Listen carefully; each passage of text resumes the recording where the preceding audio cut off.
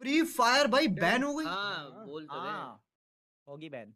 अरे जैसे पबजी कैसे? हुई थी बाद में अनबैन हो गई ये भी जाएगी। हुई है, वापस साल में आ जाएगी। भाई ये क्या मतलब है? जो चीज़ फटे उसको बैन कर दो। लेकिन रीजन क्या है बैन होने का? सिक्योरिटी कह रहे हैं। चाइनीज़ अच्छा सही। PUBG reason. ओके भाई फिर तो भाई अंडरस्टैंडेबल है यार। हाँ मतलब सिक्योरिटी अगर कुछ जा रहा है वो ठीक करके अगर वो वापस करते हैं तो सही है। हाँ। ऐसे ही तो होगा। वही। वापस आ- ऐसे ही तो वापस